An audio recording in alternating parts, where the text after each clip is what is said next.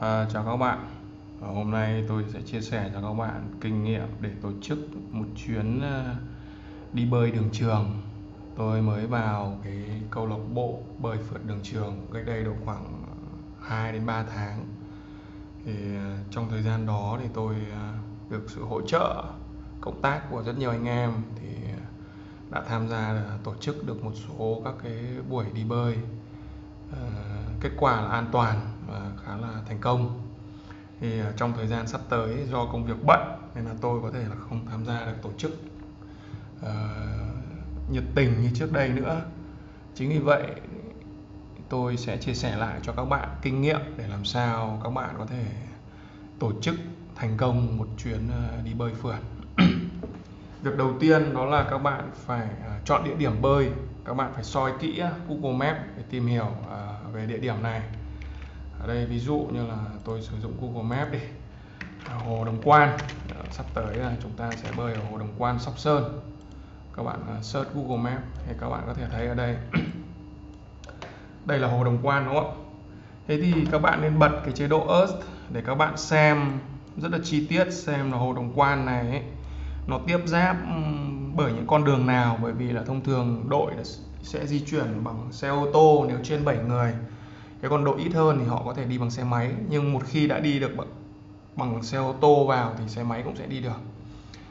Các bạn phải xem kỹ xem là cái hồ này có gần khu dân cư bởi vì khi gần khu dân cư hoặc là các cái quán hàng ăn thì họ có thể xả thải vào.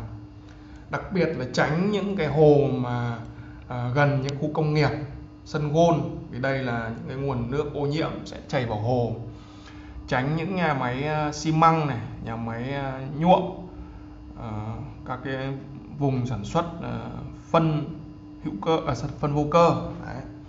thì khi mà bật cái Google Map lên các bạn có thể nhìn thấy rất nhiều thông tin ví dụ như đây là đường này đây đường vào này. Bật lên đây các bạn có thể nhìn thấy chúng ta có một cái đường vào đây này đúng không? Đường bên hồ này cái đường ven hồ này rất là quan trọng vì nó sẽ giúp cho chúng ta có thể tiếp cận đến cái mặt hồ một cách dễ dàng. Nếu mà đi vào ruộng của nhà người ta chẳng hạn thì cũng sẽ khó khăn đúng không? Thì chúng ta nên chọn cái tiếp cận cái đoạn xuất phát là cái đường ven hồ này. À, ở đây không có đâu đây có một đoạn ngắn đường ven hồ nhưng mà rất là khó đi. Như vậy là khả năng chúng ta sẽ xuất phát ở điểm này. Khi mà chúng ta xuất phát ở điểm này thì các bạn chú ý là chúng ta hãy thử đo tuyến đường. Bật cái này lên cách đo tuyến đường như sau nhé các bạn chuột phải này các bạn thấy measure distance không? À, các bạn chấm một điểm nào đó ở đây. Ví dụ tôi chấm một điểm ở đây. À, gốc không các bạn phải nên cho vào đây. Đấy. sau đó các bạn có thể vẽ những cái đường bơi. Cái đường bơi ấy, thì các bạn nên uh, vẽ men theo uh, cái bờ của cái hồ. Tại sao? Bởi vì khi mà bơi đường dài nếu mà có một vận động viên nào đấy có dấu hiệu bị chuột rút hoặc là mệt thì có thể nhanh chóng uh, tiến sát vào bờ được. Đấy. các bạn nên đi qua những cái đảo. Cái đảo này thì một là nó đẹp hai là nó cũng có tác dụng để cho vận động viên định hướng. Khi mà bơi các bạn đừng ờ, đi ra giữa hồ này thì thật ra đôi khi có một số ờ, vận động viên kể cả tôi nếu mà mắt kém thì có thể là mất định hướng không còn nhớ phương hướng nữa khi mà xuống dưới nước. Thế thì nên có những cái điểm à, khá là đặc biệt ví dụ như là cầu này đảo này à, để cho anh em định hướng hoặc là định hướng sát vào bờ. Đấy. tất nhiên là cũng không cần à, khi mà bơi ấy, thì cũng không nên bơi sát bờ bởi vì khi mà bơi sát bờ ấy, thì sẽ có một vấn đề là ừ, chúng ta sẽ gặp phải những cái nguồn nước ô nhiễm ở gần bờ. Đấy, đấy, ví dụ nha Ờ, thông thường anh em bơi cứ khoảng 2 1,8 đến 2 km thì cần có một điểm nghỉ. Tất nhiên là trong câu lạc bộ thì 10% số anh em là có khả năng bơi à, một mạch đến 3 đến 4 km nhưng mà 9 phần 10 còn lại thì uh, do cái um, nhu cầu tự nhiên của cơ thể sau khoảng 2 km thì chúng ta nên có một cái bãi đáp để cho bất kỳ ai mệt hoặc muốn chụp ảnh thì có thể dừng lại. Đấy, thì ở đây à, đáp vào đây một cái này đúng không? Đáp vào đây này xong lại bơi tiếp. Đấy. để các bạn để vẽ cái sơ đồ sơ đồ bơi. Ok. Khi các bạn đo thì các bạn phải đo đến hết nhé khoảng 4,2 km. Ok. Các bạn lại soi này. Mở rộng là nếu mà cái điểm này chúng ta cập vào ấy thì nó có phải là cái cái chỗ dễ cập không? Ví dụ đây là một cái bãi ờ, toàn là sen chẳng hạn thì rất là khó cập bởi vì cái thân sen nó rất là có nhiều gai. À, tôi cũng đã bị một vài trường hợp là nhìn trên bản đồ thì có vẻ như là điểm này nó rất là dễ cập vào bờ nhưng mà lúc đến thì nước nó rất là sâu. Anh em không thể đứng được. Thì chúng ta cũng sẽ phải ờ, nhìn xem là có cái cái roi đất nào chìa ra phía mặt hồ mặt sông không? Về thống kê ấy, thì anh em trong câu lạc bộ thường bơi với cự ly 2.000m đổ lại thì trên 50% chỉ có 30% là bơi được từ 2.000 đến 2.500m và 10% là bơi được từ 3.000m trở lên. Bởi thế nếu mà các bạn muốn tổ chức một cái ờ, buổi bơi mà có nhiều thành viên ấy, thì các bạn nên ờ, chọn những cự ly ngắn vừa phải từ 2.000m đổ xuống à, về chi phí thì uh, có mấy loại chi phí chi phí về uh, đi đường. Anh em nào mà đi tự túc thì không sao nhưng nếu mà đi xe 7 chỗ thì uh, từ 35 đến 40 km thì giá xe khứ hồi sẽ khoảng là 900 nghìn. Uh, một số hãng xe giảm 80% phí chiều về và phí chờ là 30.000 đồng. Ví dụ như các bạn thể gọi taxi 3 sao. Chúng ta khi mà chọn thời điểm bơi, các bạn phải xem kỹ AccuWeather AccuWeather đây, ví dụ. AccuWeather dự báo chính xác nhất là trước 2 đến 3 ngày. Thế thì các bạn phải chọn địa điểm nơi gần này. Các bạn ấn vào đây ấn vào đây. Local weather để các bạn nhìn thấy nhé tôi sẽ cho các bạn cho xem cả tháng đi ví dụ như là ở Hồ Đồng Quan là chúng ta sẽ bơi vào ngày 30 tháng 10 thì các bạn phải chọn những ngày ấm, ví dụ nhiệt độ từ 30 độ C trở lên và có nắng. Tránh những ngày à, mưa. Đây. Những ngày mưa rất lớn, nặng hạt này thì chúng ta không nên bơi, kể cả những ngày vừa nắng vừa mưa cũng nên tránh ra. Mọi người sẽ cảm giác thoải mái nhất khi mà bơi ở những ngày à, có nắng, đặc biệt là vào à, cuối mùa thu và chớm đông thì càng nắng to mọi người càng thích vì nó sẽ rất là ấm áp. Đây những hôm này đẹp này hôm này đẹp này hôm này đẹp này hôm này đẹp này hôm này đẹp hôm này không tốt này. Đấy. các bạn nên mở chi tiết ra xem xem là buổi sáng nó như thế nào này. Đây này nai này các bạn quan tâm nhất là buổi sáng đúng không? Thường chúng ta sẽ đi vào buổi sáng.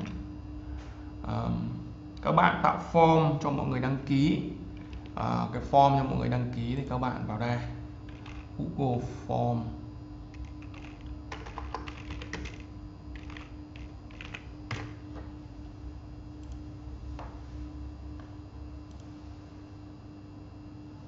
Tôi sẽ hướng dẫn cho các bạn chọn blank này. Ok. Ví dụ như là các bạn chọn à, bơi ở hồ đồng quan đây để các bạn nên à, nói rõ luôn. Bơi đồng quan sóc sơn hà nội 35 km cự ly nên nói rõ cự ly cự ly này là 3 km okay. à, ngày bơi này ngày bơi luôn mình rõ luôn là 30 tháng 10 2016 okay. à, ở đây là xuất phát lúc ờ, à, 6 giờ 30 tại cổng công viên à, thống nhất phí dự kiến à, nói luôn cái phí dự kiến thì gồm có là dự kiến à, uh, 150.000 người đi xe chung. À, thông thường đây là cái phí mà hầu như là không thể tránh được. Các bạn chọn à, ví dụ như là họ và tên này họ và tên đây nha. Các bạn nên để require này. Bắt buộc người ta phải chọn vào. Sau đó là số điện thoại. Chọn short answer. Okay. uh, email để chúng ta có thể gọi uh, nhắn thông tin. Riêng email và số điện thoại bắt buộc lúc nào là phải bắt buộc. Okay. uh, các bạn nên um, yêu cầu cả tên và số di động của người thân. Tại sao phải như vậy? Bởi vì trong trường hợp khẩn cấp một vận động viên nào đấy có một cái biểu hiện bất thường bị ốm bị đuối nước vân vân bị tai nạn thì chúng ta luôn luôn có số di động của người thân để gọi báo. À, cái này là bắt buộc nha. Chúng ta không bao giờ nhận cái vận động viên nào mà không có cái uh, contact của người thân cả. Ở đây các bạn nên ờ, phỏng vấn cự ly và có thể bơi ở cự ly nào. À, tối thiểu chúng ta phải nên là 800 m 1000 m 1200 mét. 1500 mét, 1800 m 2000 m 2500 mét. Ờ, 3000 mét, Đấy, vân vân. Thì khi mà chúng ta thống kê được uh, biết được khả năng bơi của các vận động viên ấy thì với những vận động viên mà khả cự ly bơi quá thấp so với cự ly lịch trình đề ra ấy, thì chúng ta nên uh, thảo luận với họ. Nếu mà họ ờ, chưa rõ về cự ly bơi và khả năng không bơi được thì chúng ta cần phải loại họ ra ở cái buổi bơi đấy để đảm bảo an toàn. Tôi nhắc lại là bơi uh, có nhiều cái yếu tố um, rủi ro hơn là chạy rất là nhiều vậy thế nên là về khâu tổ chức các bạn phải chú ý về việc đảm bảo sức khỏe của vận động viên và ờ, tự mỗi vận động viên phải biết rõ về khả năng bơi của mình. Nếu mà vượt quá cái ngưỡng chịu đựng của họ thì khả năng họ sẽ bị chuột rút hoặc đuối nước thì lúc đó rất là nguy hiểm. Ok. Thì khi mà chúng ta collect được cái form này ấy, thì ờ, các bạn nên có cả một cái lựa chọn là muốn đi xe chung hay là xe riêng? À, cái này rất là cần thiết nhé. Vì các bạn biết tại sao tôi, tôi kéo cái này xuống.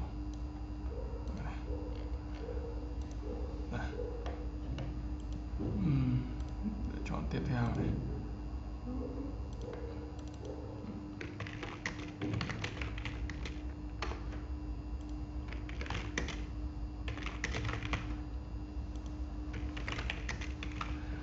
Khi mà các bạn à, tạo form ấy, thì à, việc à, bơi ở cái một cái địa điểm xa thì thông thường anh em sẽ nên đi xe chung để tiết kiệm. Tuy nhiên có một số anh em nhà gần hoặc là thích đi xe máy thì họ sẽ tự đi. Khi mà chúng ta tạo form chúng ta cần phải nắm rõ là có bao nhiêu người sẽ đi xe chung để chúng ta đặt chỗ. À, nếu mà năm 5 người thì đi xe 4 chỗ nhưng mà từ 6 người trở lên thì chúng ta nên đi xe 7 chỗ.